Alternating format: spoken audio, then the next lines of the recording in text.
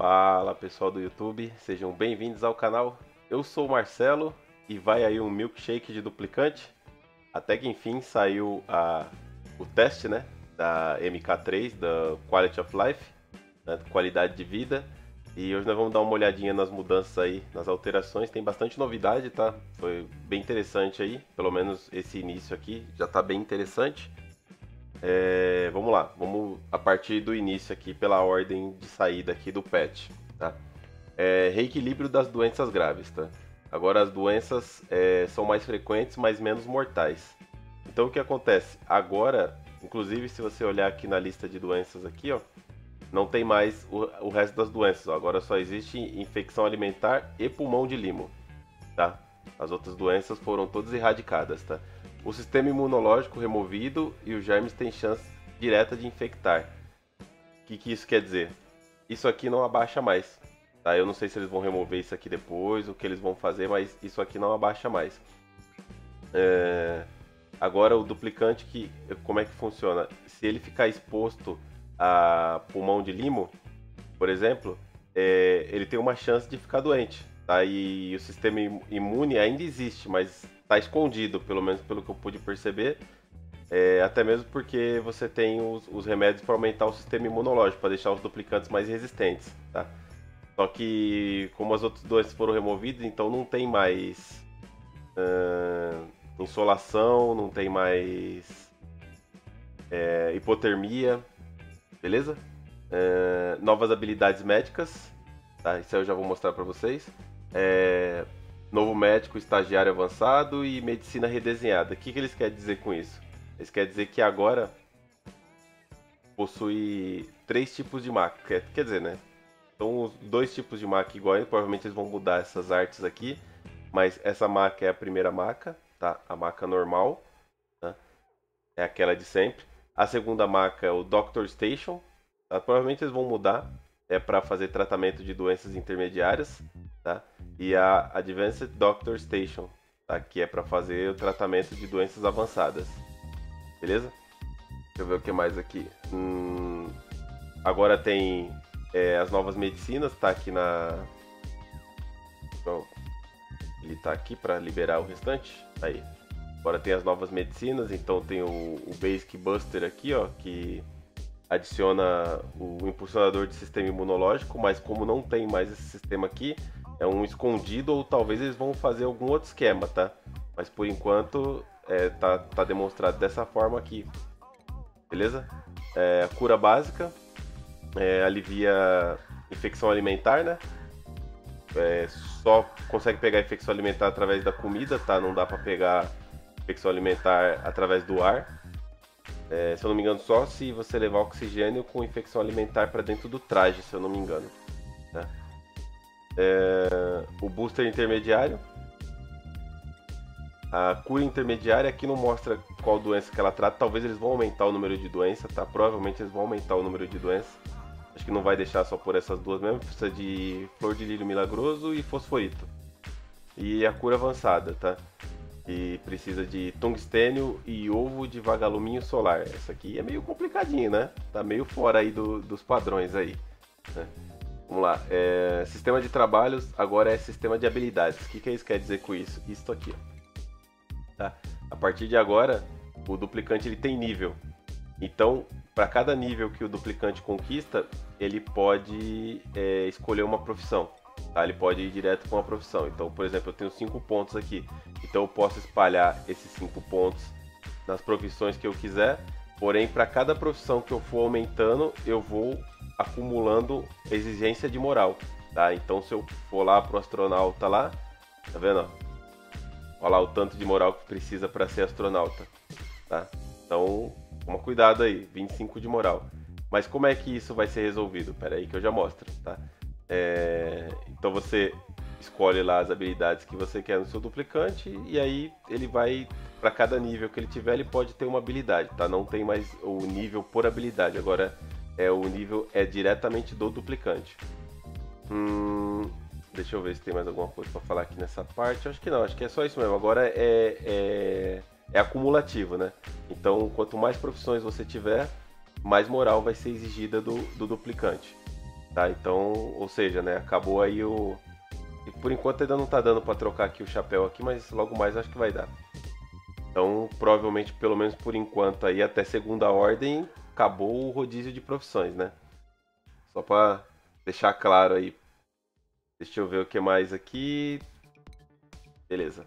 Então, vamos supor que você é, escolheu errado lá as profissões. Tá? Aqui o quem é esse aqui? É o Vitor. Tá? Você não queria ter escolhido o arquiteto sênior porque a exigência estava muito grande de moral e você não, não podia lidar com isso no momento. O que, que você tem que fazer? Você tem que mandar ele para a nova estrutura, que é o Skill Respacer. Tá? Aqui eu vou mandar, cadê ele? O Vitor. Vou acelerar o tempo aqui, né, para ser mais rápido e a gente já já vai ver ele sendo chacoalhado aí. Ele foi dormir. Beleza. Uh, vamos lá, próxima aqui. Hum... Reconstrução da turbina a vapor. Essa aqui eu vou deixar por último. É... Ice Maker. Tá? Agora tem uma maquininha de fazer gelo. Aqui, ó. Duplicante coloca água aqui. Coloca, se eu não me engano, 10 kg de água. E produz gelo a menos 20. Eu achei meio roubado. Tá? Eu achei meio, meio roubado isso aqui. Ela gasta 240 watts. Eu achei meio roubado, tá? É transformar aí água direto em gelo aí a menos 20, sei lá. Não sei, vamos ver. Só quando tiver numa base a gente vai ter certeza aí do que dá para fazer. É, e agora tem o ventilador de refrigeração construído por gelo, que é esse aqui, mas eles não estão usando ainda. Talvez eles vão, vão liberar isso aí logo mais, mas por enquanto eles só estão entregando o gelo só. Mas não, eles não estão virando aqui, não estão girando aqui a manivela dele, tá? Qual que é o próximo aqui? Hum, Ice Maker, ventilador de refrigeração, nova válvula de corte do transportador. Essa daqui, ó. Agora o trilho pode ser interrompido através de automação. Tá? Então aqui a gente tem a automaçãozinha aqui. Tá? Esse essa aqui, eles vão mudar essa arte aqui com certeza, tá? Por enquanto eles estão deixando assim só para teste, mas eles vão mudar essa arte aqui com certeza. Então agora se você quiser interromper através de automação o trilho, você pode interromper. Vai ajudar bastante, tá? Principalmente com transporte de comida, transporte de materiais que são é, é, que evaporam, né? Por exemplo, limo, é, barrela, essas coisas, vai ajudar bastante esse sistema aqui, tá? O próximo é, conta-gotas de minério de transportador é isso daqui, ó. Tá? Agora você pode liberar o trilho direto é, então, até uma animaçãozinha aqui de líquido saindo ainda, né? Mas agora você pode liberar o trilho direto num, numa saída, tá? Não precisa mais ter o receptáculo. Se você quiser dropar o item no chão, só você colocar isso aqui que o, que o trilho vai, vai liberar no chão direto. Não precisa mais de um, de um receptáculo e um, e um duplicante para retirar com a mão, ou então um autocoletor, né? Isso aqui vai ajudar muito. Só esses dois aqui já ajuda muito, tá? Pra ficar perfeito, só faltou o filtro, né? Só faltou o filtro de, de trilho pra você escolher exatamente o item que você quer mandar para determinado lugar. Mas tá bom. Por enquanto já ajuda bastante já isso aqui. Já dá para usar bem mais os trilhos agora. Porque pode reparar que eu praticamente nem uso os trilhos. Dificilmente eu uso os trilhos, mas agora já dá para começar a inventar algumas coisinhas legais aí com os trilhos. Uh, Conta-gota de minério automatizado. Ele se refere a isso aqui, ó. Ele se refere a isso aqui. Tá? O que, que é isso aqui? Isso aqui é um armazenador. Tá? É um armazenador. Eles vão trocar, por exemplo, essa, essa automação aqui. Essa automação, essa arte, provavelmente eles vão trocar também. Mas só como é que ele funciona? Ele precisa de 60 watts, mas ele está funcionando sem energia no momento. E também tem outro defeito aqui, que provavelmente isso aqui é obra de um estagiário, tá?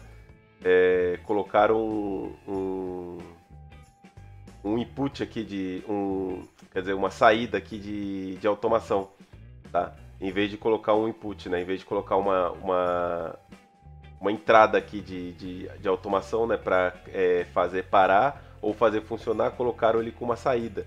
Mas ele não tem nenhuma configuração nele para ser feita, para ele ser uma saída, para que ele faça automação alguma coisa. Ele tem que receber um sinal, tá? Então provavelmente eles vão trocar aí já no, na primeira atualização que eles fizeram do, aqui no, no Quality of Life MK3, eles já vão fazer essa substituição já de porta aqui, né? A porta tá errada. Como é que isso aqui funciona? Deixa eu ver se... Deixa eu tirar isso aqui, para ver se os duplicantes vão vir aqui pegar as coisas aqui do chão. Tudo prioridade 9. Olha lá, funciona assim, ó.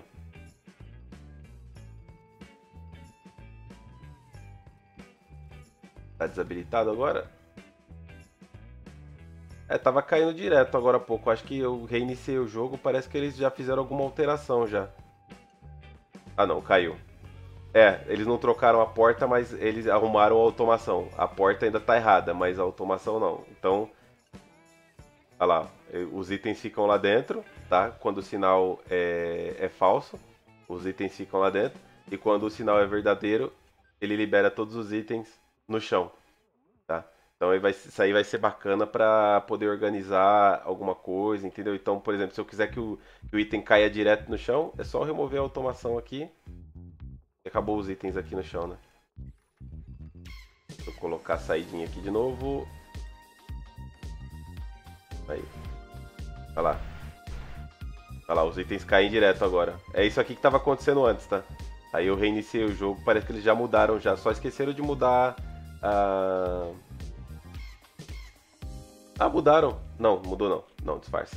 Ah, é só esqueceram de mudar isso aqui. Essa, essa, essa animação aqui ela tem que ser uma dessa aqui, tá? Tem que ser uma entrada de cabo, tá? Para que ela funcione corretamente. Olha lá. Aí agora o material não cai. Quer dizer, o material cai que tá ativo, né? Se eu inverter aqui, aí o material não cai mais, tá inativo, tá? Vamos lá. Agora vamos falar do mais importante aqui, que é hum, a turbina a vapor, tá? Fizeram uma grande mudança na turbina aí, Tá? Agora ela está bem utilizável, bem utilizável mesmo, tá? Como é que ela funciona agora a turbina a vapor? Ela tem que ser construída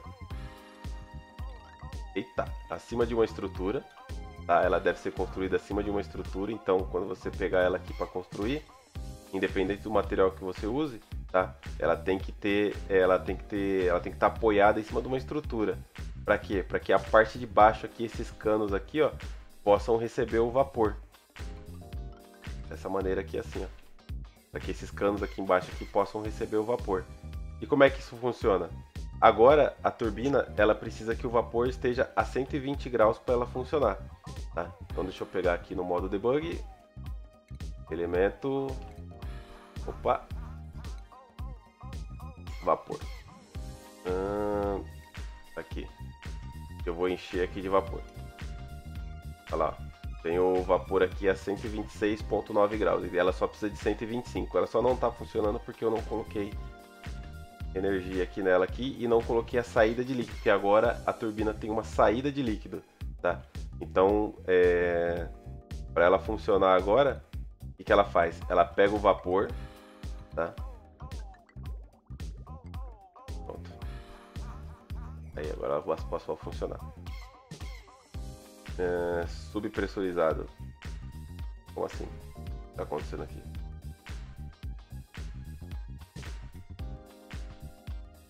Ah, a quantidade tá baixa, desculpa. Eu não coloquei massa aqui no, no vapor. Vou colocar aqui, encher. Aí, pronto. Então como é que funciona agora? Ela puxa o vapor abaixo dela, tá? Por enquanto ela tá produzindo ainda o máximo de energia. Cadê? Vou pegar uma bateria aqui das grandes. E... Mas é, provavelmente eles vão mudar isso, tá? Porque não, não, tá não tá à toa aqui essa barra aqui, mas atualmente ela está produzindo o máximo de energia, independente do, da temperatura do vapor aqui embaixo. Então quanto mais quente o vapor tiver aqui, mais energia ela vai produzir. Eu acho que o máximo que ela produz é com o vapor a, a 200 graus. Quer ver? Vamos fazer um, uma arma de calor aqui. Eu diminuir o tamanho da arma de calor aqui para 2 aumentar o calor aqui, vamos colocar um pouco de calor aqui. Ó, tá vendo? Ó? Aumentou, chegou no máximo ali, ó. Olha lá, 200 graus aqui, ó. Só deu uma diminuída ali de novo porque o vapor espalhou aqui de novo, né? Mas, tem, mas ela vai chegar no, na, na, capacidade máxima dela de produção energética, energética com 200 graus. E o que, ela faz? Ela está consumindo 2 kg de, de vapor por segundo, que é o que a gente fazia, ela fazia antigamente, né? Com é, tampando quatro saídas dela. Tá? E ela produz água, 2 kg de água por segundo a 95 graus. Tá? O que, que, é o detalhe de tudo isso? O detalhe é que se a turbina passar de 100 graus, de temperatura, ou a estrutura dela passar de 100 graus de temperatura, ela para de funcionar, tá? Igual essas daqui, ó. Todas aqui estão a 100 graus, tá vendo? Então elas param de funcionar, tá? Então tem que tomar cuidado aí no local onde você for construir a turbina, não pode ser mais um local extremamente quente, porque se a estrutura da turbina chegar a 100 graus, ela vai parar de funcionar. Facilitaram bastante o uso dela, tá? Eu achei interessante aí a, a mecânica que eles aplicaram na turbina, tá? Tanto a de drenagem de vapor, esse sistema aqui fechado, quanto a saída de água, achei bem interessante. Você pode usar isso aqui, por exemplo, para mandar direto para pode mandar direto para uma para produção de oxigênio, né? Sobre as profissões, eu dar uma olhada aqui. Ó, tá vendo? Ó? Eu tirei todas as, as habilidades dele quando eu mandei ele lá pra dentro lá do, da estrutura lá que eu esqueci o nome. É Kill Respacer, tá? Quando você manda o duplicante para cá, ele perde todas as habilidades, tá? Então ele reseta e aí você pode escolher de novo qual é as habilidades que você quer que ele tenha. Por exemplo, agora aqui eu quero que ele se, o Victor seja médico, tá? Essa aqui é a profissão nova, tá? É, é Medicine Compound, né? Que é, é fazer as medicinas, né? A segunda é médico, tá? E a terceira aqui, provavelmente eles vão mudar esse nome aqui, Improved Kindness, acho que não tem muito, muito a ver, tá? Mas eles vão mudar. Então aqui é médico, então, sei lá, que eles vão colocar cirurgião, alguma coisa nesse sentido, tá? Provavelmente vai ser a terceira aqui. É que agora, por enquanto, tá, acabou de sair, né? Então a gente não tem animações, não tem animação do chapéu, não tem nada. Tá? Mesmo com aqui para colocar o chapéu aqui, não tem animação ainda. Então a gente vai ter que esperar mais um pouco aí. Mesmo se eu clicar aqui em trabalhos agora, eu não consigo nem entrar. Tá? Se eu apertar o J aqui, eu consigo acessar o painel. Mas ainda está muito recente ainda. Gostei bastante aqui do início, né? Vamos aguardar para ver o que, que vem pela frente aí. Por enquanto tá tudo de boa. Teve mais algumas outras alterações que eles fizeram. Mas aí a gente vai vendo aos poucos. É, por exemplo, aqui, deixa eu ver. É, correção de melhorias. É, pulmão de lima e intoxicação alimentar já não enviam duplos para a cama, tá? Os duplicantes não vão direto para a cama quando pegam a doença. É, doença separada em dois sistemas. É, que mais? É, atributo medicina adicionado aos duplicantes. Corrigida a falha de vários duplicantes. É só correções de, de, de bugs que já tem é, por eles terem inserido o, o teste, né? Então eles já lançam já fazendo correções. Ó, as turbinas aqui é, chegando a 100 graus aqui, ó. Tá? Tem que tomar cuidado com isso, tá? Não esqueçam que a turbina não pode ser... Inclusive tem até um, uma coisa interessante que eu percebi, que você pode resfriar a turbina com a própria água dela, tá? Que ela sai aqui, ó. Você colocar a saída de líquido aqui, olha lá, ela vai soltar água a 95 graus aqui e a turbina não vai passar de 95 graus. Só que aí o que você tem que fazer? Você tem que criar né, um sistema aqui para não. É... Para não inundar, tá? Porque se ela chegar a 140 graus, ela vai inundar. Aí você coloca, por exemplo, um bloquinho ou quebra aqui, né? Aí a água vai escorrer para cá, a bateria vai acabar, é, tá de minério de cobre, ela vai acabar estragando aqui, né? Mas olha lá que interessante ela não vai passar de 95 graus, porque a própria água dela está resfriando ela, tá? Vai dar para fazer bastante coisa legal com a turbina agora, né? Uma usina de turbina agora vai ser possível ser feito. Agora é só iniciar uma nova base e ver o que vem pela frente, né? Bom, por enquanto a gente fica por aqui. Se sair mais novidades, a gente faz um outro vídeo, né? Falando sobre as novidades. Por enquanto é o que eles disponibilizaram pra gente. É, a máquina de gelo eu falei, não tem nada demais, só fabrica gelo a menos 20, gasta 240. O ventilador ainda não está funcionando. Eles fizeram algumas alterações é, na parte de automação, mas que ainda, pelo visto, ainda não estão funcionando. Pelo visto, ainda não estão funcionando essas alterações. Vamos ver, vamos esperar para ver. Tá? É, então a gente se vê no próximo episódio, ou na próxima base, né? Valeu e Falou! É isso aí, pessoal. Se você curtiu, não esquece de deixar aquele like. Se ainda não é inscrito, inscreva-se no canal, dá aquela balançada no sino para ativar as notificações e compartilhe nas suas redes sociais. Aquele abraço e até o próximo vídeo.